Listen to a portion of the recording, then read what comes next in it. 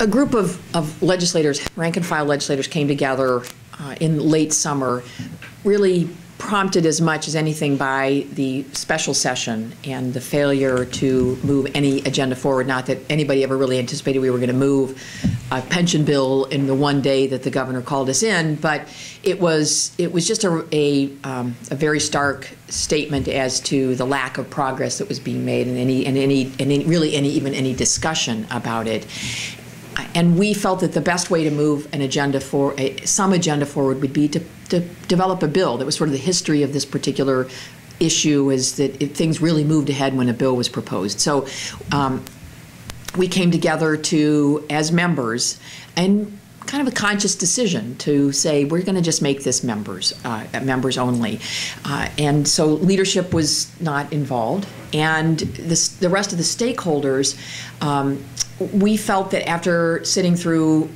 many, many, many hours of meetings, uh, that we had a pretty good handle on where the pressure points were for each of the stakeholder groups involved. Um, as well as the leadership, and what, what would what were the component parts of a bill that would um, that would not only meet policy goals, but also would could could fly politically. And so we came together, and, and House Bill 6258 um, is the result of that. Um, we we um, we tried to let we tried to we let stakeholders the, the, the, the main stakeholders know right before we introduced the bill. Uh, we gave a proposal to the, the, the, same fact, basically the same fact sheet you have before you, uh, to Speaker Madigan about I don't know, 10 days before the bill was introduced. So, you know, this was not the kind of thing where we involved it's just again really involved anybody. It was just this is about this is about members coming forth with their proposal, and we felt in in the days leading up to the, the introduction of the bill and talking to members that that was really appreciated. That they felt that in many ways a lot of these big time proposals come down from on high and are imposed and said here it's 8.15 by 10.15 you're going to be voting on a billing committee and it's on the floor that afternoon. Um, and so the opportunity to to talk to a colleague about why we supported it um, and then to have an opportunity to go back and talk to the, the folks in their district and, and so forth was, was, was really a, a welcome change from the way things had been done in the past. So it's created some momentum around around the bill, and and uh, we think we we can we can build on that momentum. With regard to the constitutionality, that was a threshold question that we had to ask ourselves: is what what will meet constitutional muster in the state of Illinois? And frankly, the honest answer is none of us really know. And the, the justices, you know, have really not given too much guidance on that in the past, because um, that threshold question has really never been asked of a bill of, of, of this type. The scholars that are out there run anywhere from you can make no changes to any benefits um, on one end to on the other end uh, the systems all you have to do is fix the systems make them viable and that's sufficient that, that that's sufficient constitutionality just by by virtue of that um, we tried to pick something sort of in between uh, we do rely on the fact that we think that we are fixing the systems and making them financially sound so that members can be assured that they will have a benefit going forward rather than having no check in, the, um, in some, at some point in the future. Uh, but we also uh, protect benefits earned to date before as, as of the, effective date of the bill um, and make changes prospectively and we think that the cola is a prospective benefit and there are certainly lawyers that think that the cola is a prospective benefit um, and, and, things like that. Um, and then finally, and I think most significantly, uh, we provide a funding guarantee, which is something that the Supreme Court has said uh, um, pensioners in the state of Illinois don't currently enjoy, is a, a, guarantee that the state will have to put in its share in. Uh, and we do it a little differently than what's been done in the past in the 1995 law. You know, it can provide for a continuing appropriation, which everyone thought would be secure. Well, that went out the window. Um, and so we um, we involve a third party in this process. We involve the pension systems, who we give the right to uh, go to, to the court in Spring in Sangamon County and sue the state to enforce payment. Um, the the amount of the payment is a little bit flexible. Um, it is uh, it, it's normal cost plus an actuarial amount to uh, to pay off the, the, the backlog, but what, one thing I've learned through this is actuarial science is in fact not actuarial science, it's actuarial art. And there's a lot of flexibility, I think, in that. And so that will be the nature of the court action. And I think that the state's ability to pay, if we ran into another Great Recession, another Great Depression, would be part of that discussion as well. So um, we, we provide that flexibility. But nonetheless, there is a funding guarantee, there is a more enforceable funding guarantee in this than we think that anything that's been guaranteed in the past. That creates uh, a, a new right uh, that for the class of um, employees and, and, and retired annuitants that has again has not existed in the past. Um, this is not just Elaine Nekritz and Daniel Biss and a group of 19 other or 18 other um, legislators that think this. Um, we've had some discussions with uh, a um, professor at Kent, Kent School of Law who thinks that we are absolutely on the right track of how the justices would think about this, um, both in turn, well, in, primarily in terms of the fact that even when you have very clearly delineated constitutional rights, that the justices do look in the uh, at the, at the can and, and and there's been case law to say we do look at the surrounding circumstances, and in the event of a crisis, which I think anyone would acknowledge we're in right now, that there are they can take other factors into consideration other than the strict four corners of the of the Constitution. So, um, you know, we feel. Um, good about having that affirmed for us by at least one scholar in the state of Illinois who's taken a look at this. Great. So what I thought I would do uh, is say a bit at kind of a 30,000 foot level about the framework of the bill, uh, and then just let you guys guide the whatever detailed questions you might have. But about the framework, I would say that um, we're fairly constrained. If you look at the depth of the problem and look at other jurisdictions like Rhode Island, for example, that have uh, taken on problems of this depth, um, there's only so much you can do. And what they tend to find themselves doing is a three pronged approach.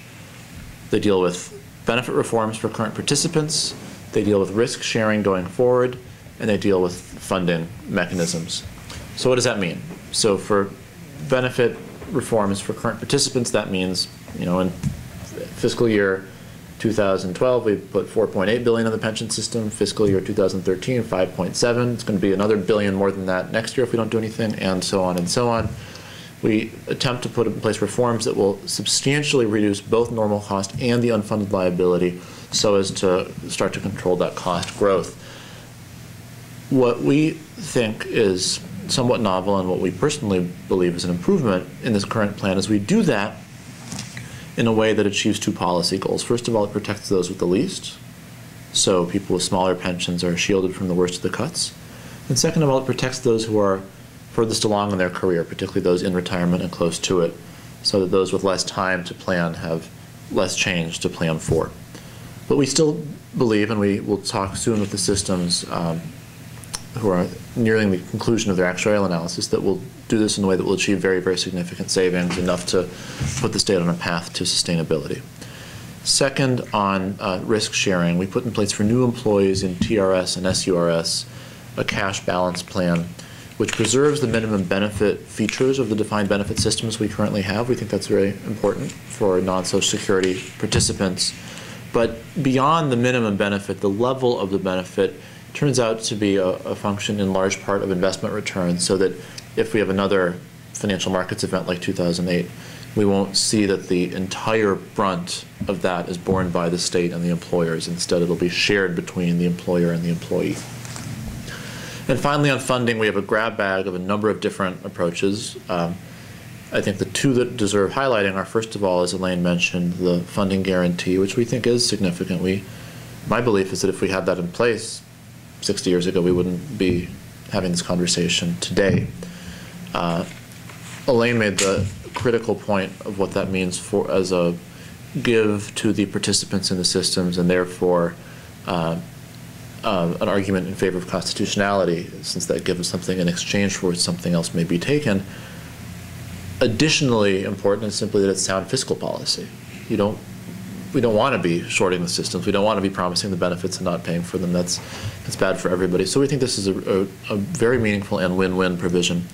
And the other provision that I think will likely be the topic of some discussion this afternoon is the cost shift.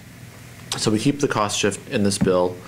Um, though I would argue that we mitigate it substantially from previous proposals, and I think one piece of circumstantial evidence for that is this is the first bill that contains a cost shift, or even the first bill that weighs in on the cost shift question, either way, to have Republican and Democratic sponsorship. We have, in addition to us, who represent affluent suburban districts, for whom the cost shift is probably harder than anybody else, we also have two Republican co-sponsors who also represent affluent suburban districts, and, and we think that that's because of the steps we've taken.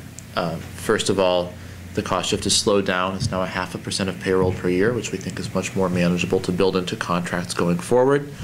Um, The savings are more certain because there's no complicated set of choices. So once the actuaries come back and tell us what normal cost is, and we think they're going to tell us a low number, that's normal cost. And the, the entities to whom cost is being shifted don't have to wonder, wait, will people really pick the right option for which that prediction is, will come true? Or might they pick something else and balloon up normal cost? So we think that's important both for certainty and for what we expect to be a low ticket at the end of the day. We put in place the strongest language that's been seen so far to segregate accrued unfunded liability from normal cost going forward and keep the former on the state's books. So regardless of how long it takes to pay it down, the unfunded liability is not going to slip through that firewall and go onto the, onto the district's uh, responsibility. And last of all, the cash balance plan for new employees. It sets a minimum benefit level, a minimum employee contribution of 6.2%, which we get from Social Security, but above that, whatever the employer wants to contribute uh, toward the benefit is negotiated with the employee locally. And so we give them a, a pretty substantial amount of control, which I think is a much more logical thing to do than dumping the cost on them. Here we say, sure, the initial argument is let them pay for it since they're setting the salary that determines the benefit. That's all good and well, but now they also have substantial jurisdiction over the actual generosity of the benefit itself relative to the salary. Putting all those three things in the same hand is it's good economics and it's a much more reasonable thing to ask of them, we think. So for all those reasons, we think this is a, a more palatable cost shift. We're still very happy to negotiate further. Um, parochially, we're thrilled to negotiate further because it helps our districts the, the more we ameliorate this. But we, but we do think it's good fiscal policy and good economic policy to get it done in one way or another. We think that that alignment is critical uh, to keep costs controlled going forward. So here we are in the middle of December. We've really, we filed the bill almost two weeks ago. We had that large group of co-sponsors that we're thrilled about. We're reaching out to our colleagues, uh, having a lot of good discussions. There's a lot of interest in what numbers come back from the actuaries, and we expect to have answers to that extremely soon. Um, and we're listening to all the stakeholders. We are hearing from labor and having conversations with them, from business, from employers at both the um, TRS and SURS level. And we feel like we have a short timeline until January 9th, but not an impossible timeline. And we all know that now the state's been downgraded again. We think the fiscal pressure is continuing to mount. We think that this is a, a good framework to get something done. We think we have more momentum for this than any pension reform plan has seen so far. Um, so we're just going to keep pushing and see what we can achieve. And, and I would just end on this point of pressure and the ratings agencies and the urgency. Understand that no is an option, that doing nothing is an option. The problem is so big that it feels like we have to do something, if not this year, then next year, and so why worry so much about when it happens? But the truth is that we could not do anything for 10 years. It would be catastrophic for the state, but it's possible. And so we, we feel like circumstance is never going to put a gun to our heads. Circumstance is just going to put a heavier and heavier weight on our chest as we lie in bed at night.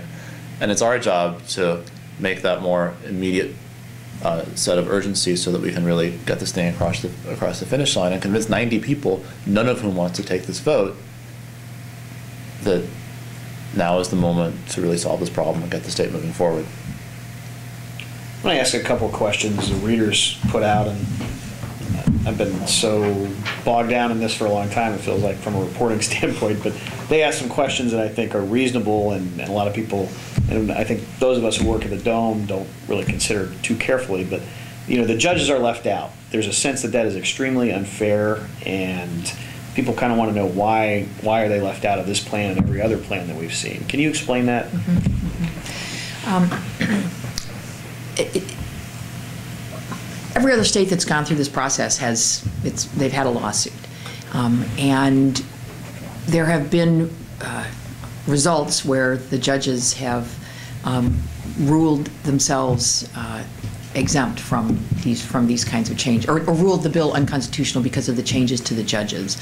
Um, I I need to double check, Chris, but I'm pretty darn sure that our Constitution not only protects the pensions, but also protects the salaries of judges, because you can't, you don't want salaries of judges being impacted by the decisions they're making. And, uh, and so the. the- In fact, they ruled several years ago that they Right. had to have their raise. Exactly, exactly. Yeah. So, so what, what, what my fear would be is that they'll use that particular portion of the Constitution to undo the whole thing and, and, and never even get to the, the other, the other question. So there's some, there, it was a, it's a strategic decision um, to, to say, we want to give this the best shot we can to figure out what is going, what, what is going on constitutionally.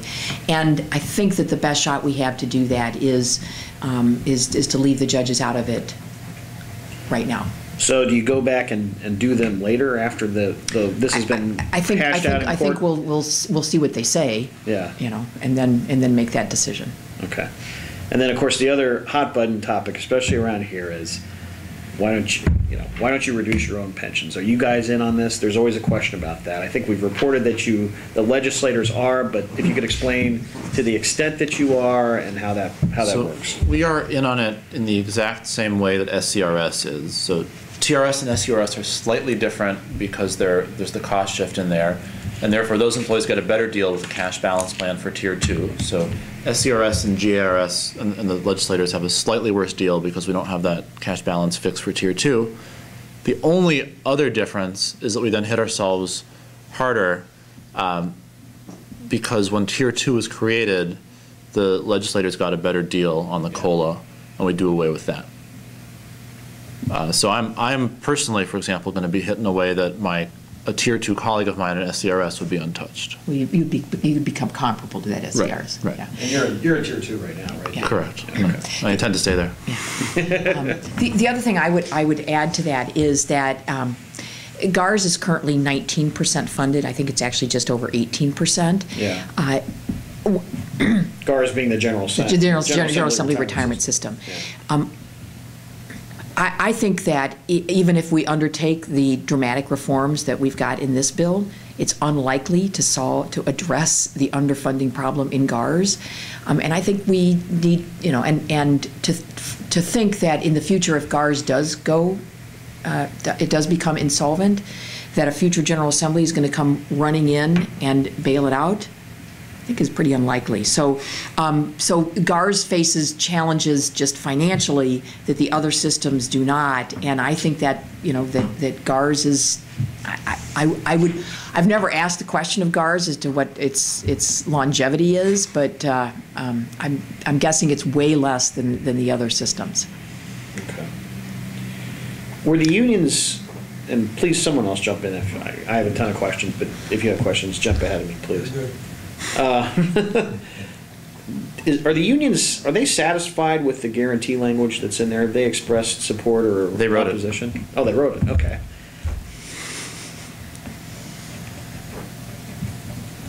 And can you explain, go ahead.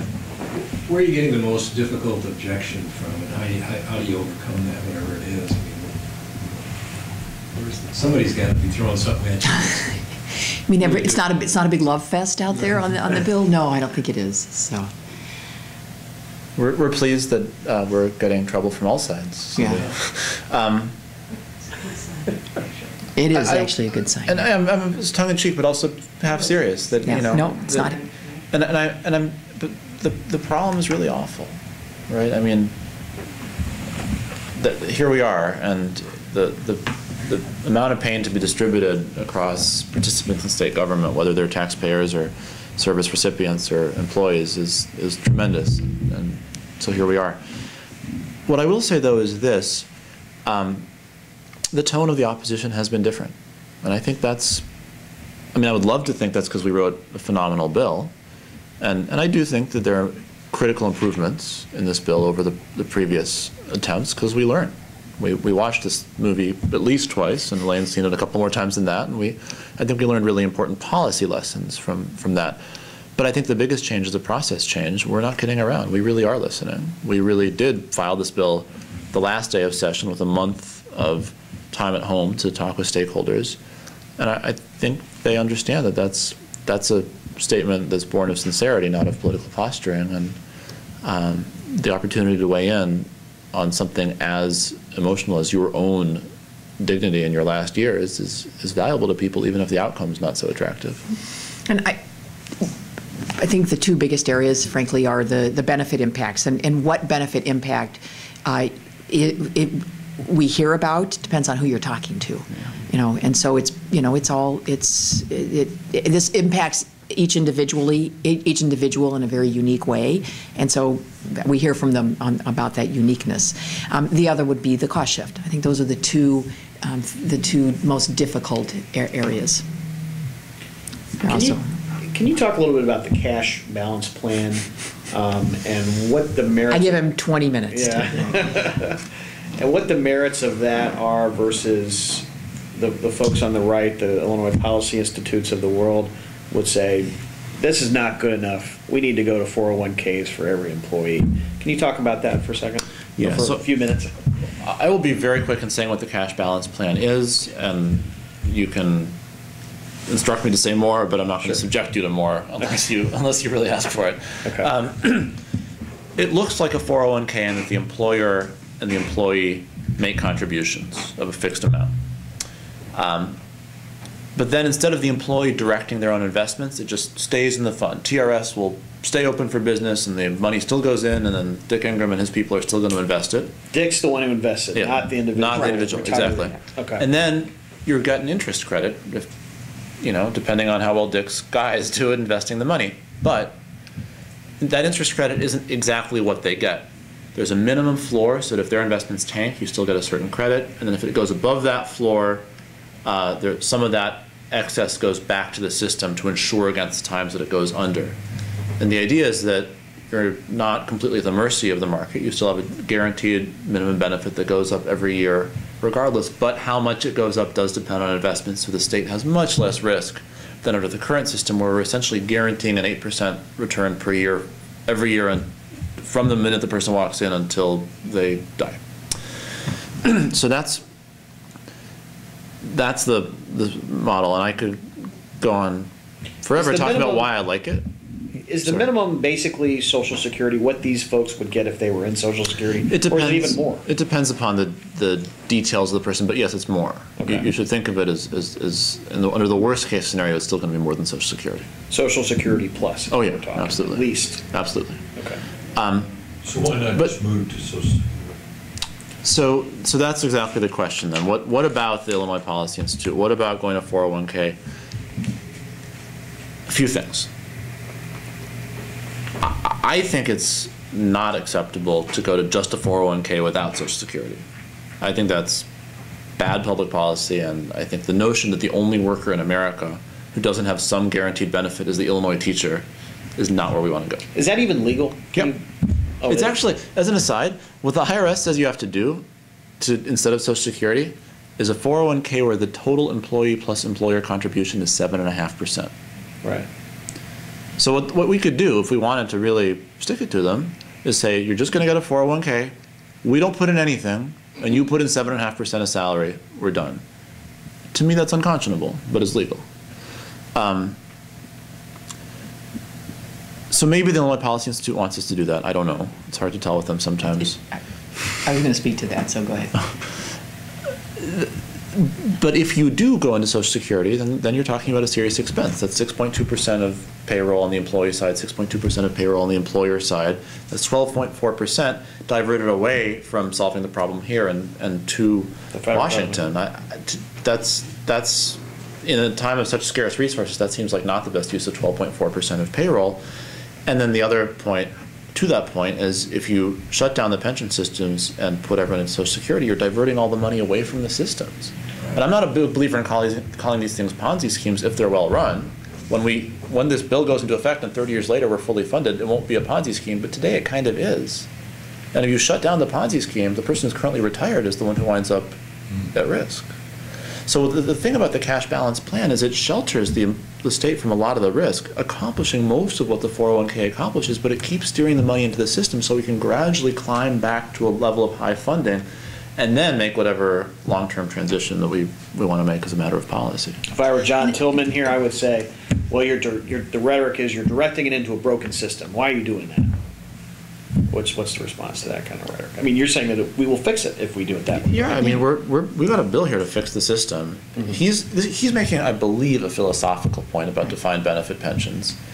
And I disagree with him if you have a system that, where the cost is reasonably predictable and you have a way to pay for it, and you make the payments. And I, I would agree with, with Daniel. I, I struggle with what they're actually saying because I've appeared with Ted Dabrowski on this. Right. And he talked about Rhode Island. And why don't we go to the Rhode Island model? Well, the Rhode Island model has a minimum defined benefit, you know, minimum defined benefit with a, with a true defined contribution plan on top of it. Well, the cash balance plan is really sort of a minimum defined benefit with a, with a, you know, with, with growth on top of it. It's, I, I can't figure out why why what we're proposing is an anathema mm-hmm. when they're talking about Rhode Island, and Rhode Island still has a defined benefit portion to it, so. Right.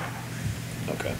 So you said, a little slow in the uptake, you said that unions wrote this? No, no, no. Not the bill. They wrote the funding guarantee. Oh, okay. One thing they've insisted on, John, is that, you know, right now, we don't have a very good, we just don't have a very good way to make the legislature put the money into the systems. We just don't have a very good way to do it. Yeah. And so they wrote the portion that would um, make the legislature do that, or a- a a It- It's come mechanism, as close as you can a to making the mechanism to legislature go do to it. court to get them to do it. Right. Okay. Well, let's, actually, let's go to that. Um, Can you explain, okay, if I'm a state worker and the state skips a payment or under funds, how does that, what's the mechanics of that? How, how do I go to court to enforce my, my rights under this bill? This- The, the, the individual worker does not have that right. Okay. The system has that, has that ability. and So the- TRS, So TRS, of the, all, and any one of the pension systems, correct. Um, And they file a mandamus action in Sangamon County um, to enforce that payment. And the payment that they're enforcing is, is- as I think maybe we mentioned earlier, normal cost, um, plus an actu, an actuarially determined amount that will um, pay down, go toward pay down, paying down the unfunded liability. And that will be the argument in court as to what that amount is for that particular year. But the legislature, like they did under Blagojevich, they can't, it it can't say, we're taking a two-year pension holiday this year. That would not fly under this bill. We, well, the the thing I, the thing I, what we did there was we changed the language on the continuing appropriation Right. in a bill. We would have to, in this, because this would not be, um, I mean, you could probably still call it part of a, a BIMP, um, but I think it would be harder to do. Yeah. And to, to just eliminate that, that right. Um, But I think it's harder, once you've granted a right to sue, to just say, I'm going to take that away, rather than changing the continuing appropriation. And because I think the courts would look askance at giving them say in something where, you know, we've now sort of uh, muddied the, the separation of powers and said, yes, you can force the legislature to do something, and then, oh, by the way, no, I changed my mind on that. I'm like, the- I'm not sure the courts would look very favorably on that. So I think if the systems went ahead and went to court and said, they gave me this right, but then they took it away, For two years with this but Exactly. I, I think the courts would, would really struggle with that. I- Mm-hmm. You know, it's just my, my stupid real estate lawyer's opinion, but Sure. yeah. And as a stupid guy who never set foot in law school, one thing that the unions put in the paragraph to try to strengthen that is it explicitly describes this right as coming under the contractual relationship protected by the pension clause. Yeah. And so what they're trying to do is essentially implicitly write it into the Constitution, right. so that it's then now a constitutional right we would be trying to legislate away. Okay.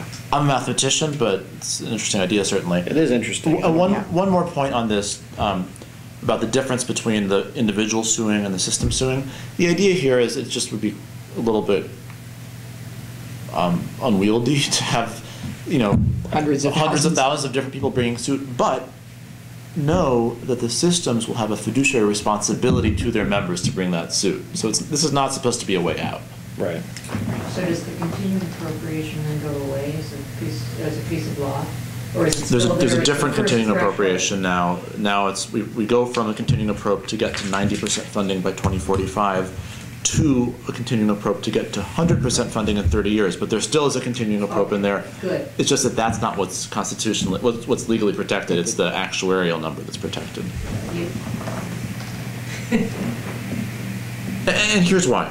The approach says you're gonna get to ninety percent funding in twenty forty-five, or hundred percent in thirty years, depending on if we pass this bill or not, and thereafter you'll stay at that amount forever. So let's suppose we get there, and then twenty forty-eight happens, and there's the next Great Recession, and the asset values lose, the assets lose twenty-five percent of their value again.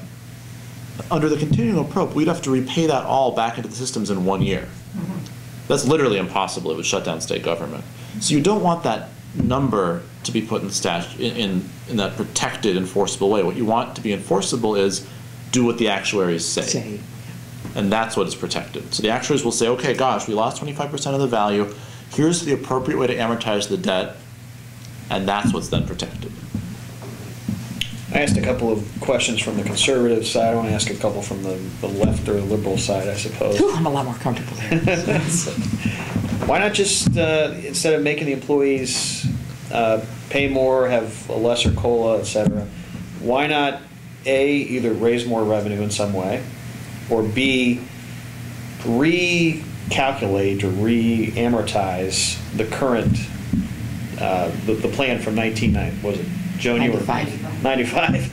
Yeah. Why not, why not redo that completely so we have, say, kind of a 30-year mortgage type of situation, although it wouldn't be 30, it'd probably be 40 or 50, a- and, and relieve the state's financial pressure that way? Um, With regard to the revenue question, I- I think that we, um, we, we have, we had, to me, when, when this whole, when we really got into this fiscal mess, we had three, three, three things that we had to do to get out of it. We needed revenue, um, we needed spending cuts, and we needed reforms. Um, We've, we've dipped into the revenue well. Um, We're continuing to make some very significant cuts. Um, And both of those have impacted constituencies in the state of Illinois in, in a very significant way. Right.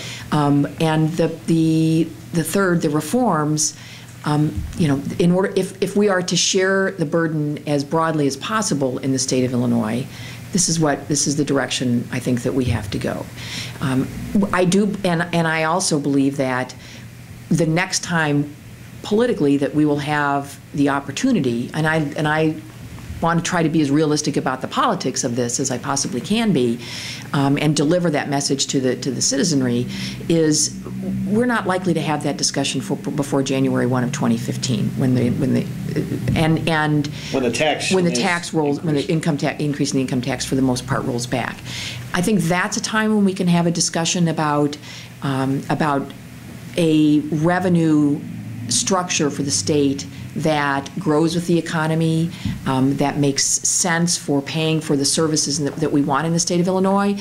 But I don't think we've quite demonstrated yet to them that, to the, to the vast majority of citizens, that we're responsible um, and, and have taken the steps that we need to take in order to be able to um, go back and have a discussion about, about revenue. And I just think, think that's the political reality of, of, of where we are right now. So I'm just, I'm not, I, you know, someone wants to try to pursue a constitutional amendment and get 71 votes in the House and six, you know, 36 in the Senate and get 60% of the, con- of the residents of the state of Illinois to send spring, send gen- the General Assembly more money, I'm, I'm not optimistic about their chances. You're talking about a graduate or progressive Yes, yeah, tax? Because yeah. that, the unions were supposed to have a thing today, they canceled They it because of canceled it, the right. shooting and everything. Yeah. Um, But I suspect that was on the menu, maybe. Right, right. You had And I, and I certainly support that. I Yeah. just, I'm, I think the, the politics are what Elaine says there. You asked two questions, and I, the other one is about the reamortization, and I, I would just point out that it's actually secretly the same as the first question. Uh, the reamortization argument says pay the whole thing down like a mortgage. Uh, great. Now that will be a debt payment on top of normal cost of something between eight and billion, eight and nine billion a year. We're currently putting something like four billion toward pension debt payment plus normal costs, so that means overnight, it'll require either four to five billion dollars of new revenue or else four to five billion dollars of cuts elsewhere.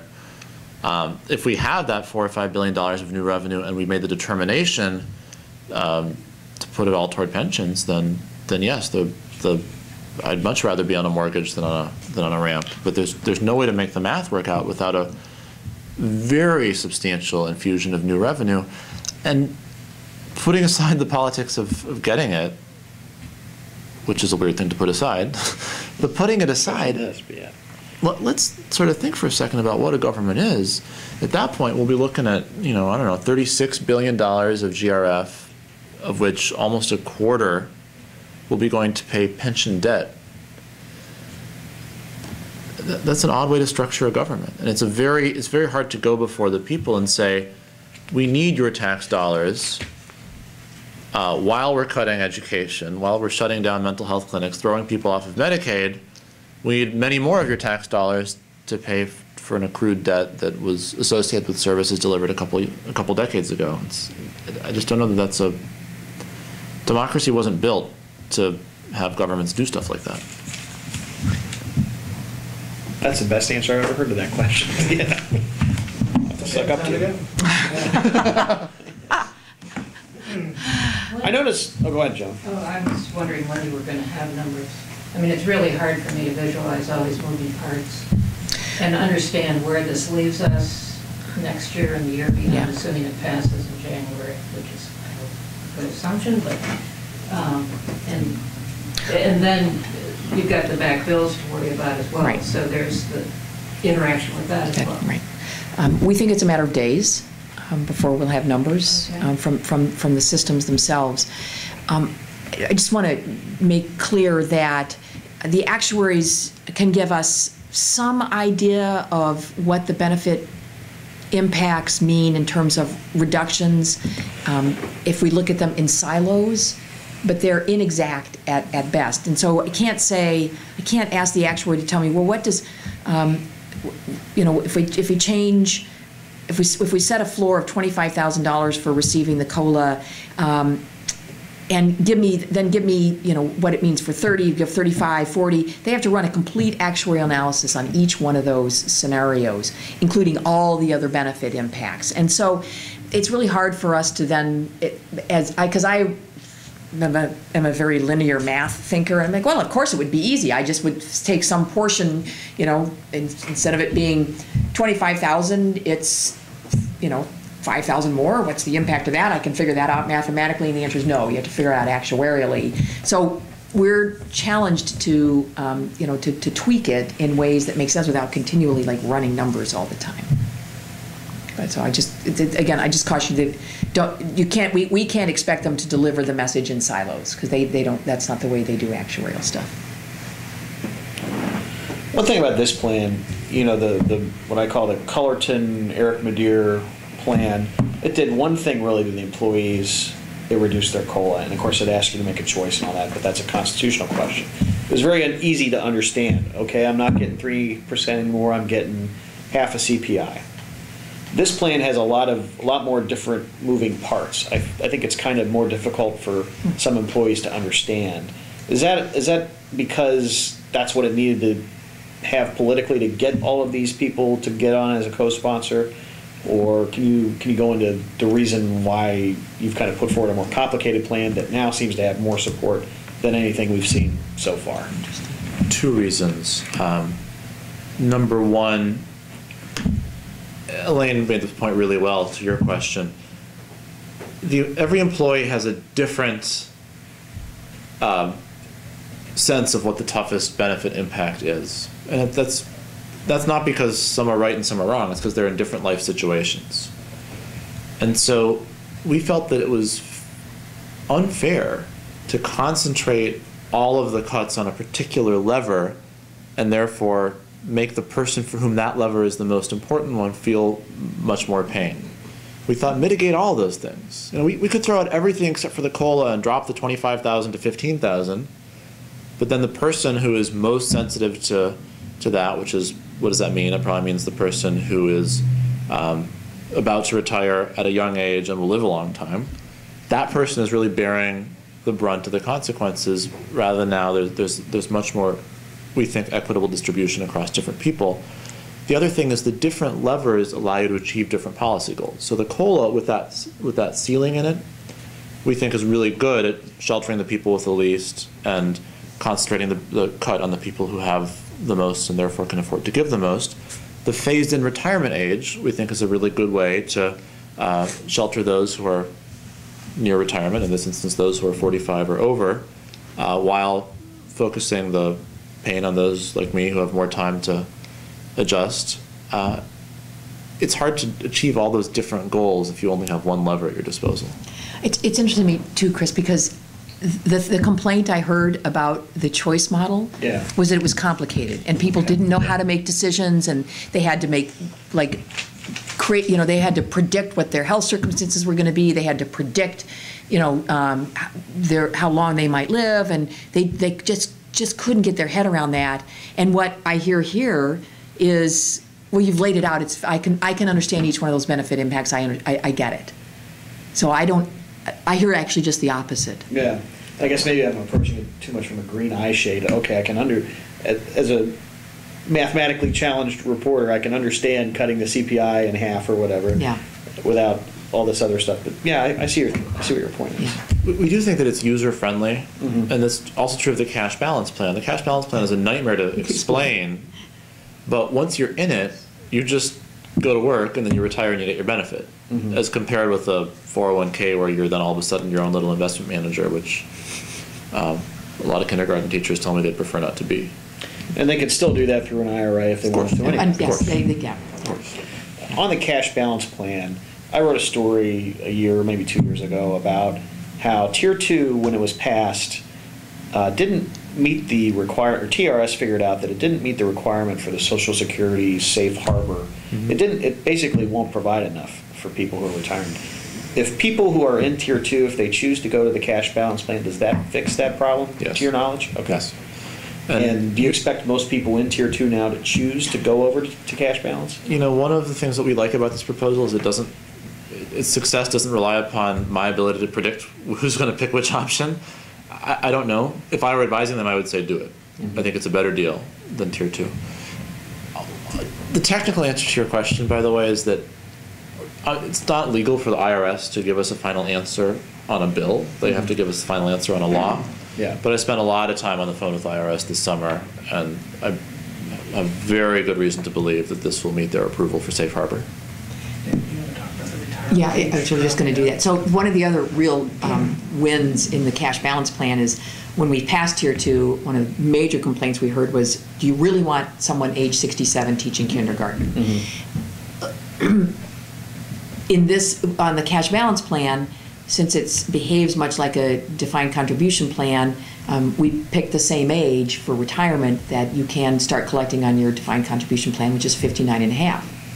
So it dramatic, it, it really takes that issue off the table for, for those in tier two. And specific, right. I'm sorry, can you say that, so does it move the retirement age back to, fi- I, I I didn't understand what you Yes, said there. yes, it does. Yeah, you can start collecting, because you have your, didn't realize because it's that. again like a defined contribution plan and you have your own account. Mm-hmm. If you decide that you have enough in that account at age 59 and a half to retire and that's a sufficient enough annuity for you, be my guest. Okay. Um, If you don't and you want to keep working and, and keep contributing in it to build up a little bit more, be my guest. And that's without penalty, because tier two had Correct. penalties for retiring Correct, before that is, yeah, okay. yeah. Again, it's your own little, it's your own little account that's your, that's being co- Okay, collected there. you were, you had something to add? No. Okay. Is Rhode Island the state that one would go to to understand this in action?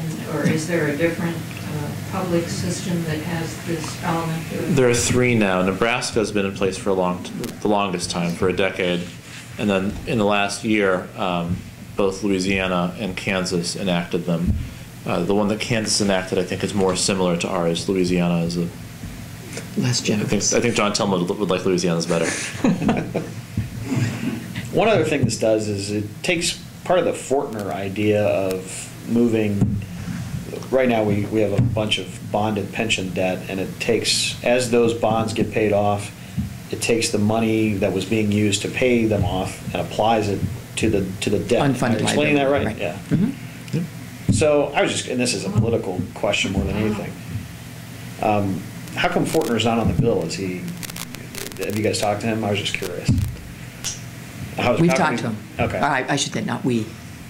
Is there a reason My he's not? a colleague has talked to him. Co-sponsor, or what is he, I I should ask him, I suppose, but, Yeah, I would be cautious to speak for him. I, I think he wants to see numbers in the cost shift. Yeah. You know, we're, we're, we feel really good that it's going to be workable, Mhm. um, but he wants to see the numbers first. Um, and you know, he has his own proposal that's different in a variety of ways, and um, you know, I think he there's probably an opportunity for us to work with him and maybe incorporate more of those ideas and yeah. see where we get. As far as the, as the cost shift, can you explain why this version of it is less painful? You alluded to this than what the, the leadership had come up with last, last spring. Well, first of all, it's slower. It's- Right, it was, it was 1%, a 1% of payroll a year um, versus a half a percent of payroll a year. Um, We, um, we, Daniel, um, made sure that we, there was, a there was some changes to the language that protected the school districts from having to assume any of the unfunded liability. So making sure that the investment returns, the actuarial um, issues that might arise with regard to the unfunded liability did not impact um, the, the, the the cost that we would be shifting. And there's one other. The, the, I would say two others. One, the, the, I think the certainty is a big thing. Yeah. The, the, Okay, yeah. the plan, the plan with the choice, we said employees get to pick option A or option B. If they pick option A, the state saves money, but the pension systems don't. If they pick option B, the pension systems and the state both save money. We're going to shift the cost, and you better hope they pick option B and not option A, or else there's no savings at all. Be, because we have just one package of benefits that everybody gets, when we get our numbers back from Dick Ingram and Bill Mabe at SURS, we're going to know what the normal cost is.